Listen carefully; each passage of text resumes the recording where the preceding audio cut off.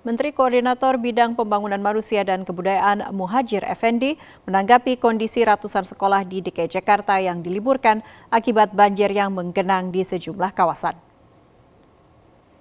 Ditemui usai rapat terbatas di kantor Kepresidenan Jakarta pada Selasa sore, Muhajir Effendi menyatakan jika kondisi tidak memungkinkan akibat banjir, proses belajar mengajar di sekolah terpaksa diliburkan.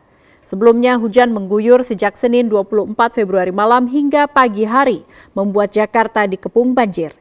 Dinas Pendidikan DKI Jakarta meliburkan lebih dari 100 sekolah dari tingkat taman kanak-kanak hingga sekolah menengah kejuruan yang terkena banjir hingga akses jalan ke lokasi ditutup.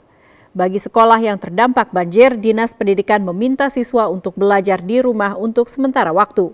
Data sementara dari Dinas Pendidikan menyebut 143 sekolah diliburkan karena banjir. Hari ini kan ada 142 sekolah di Jakarta yang hari ini libur karena banjir Pak besar di Jakarta. Tanggapan Bapak sendiri gimana Pak? Ya kalau dalam keadaan tidak mungkin masuk masa dipaksa masuk.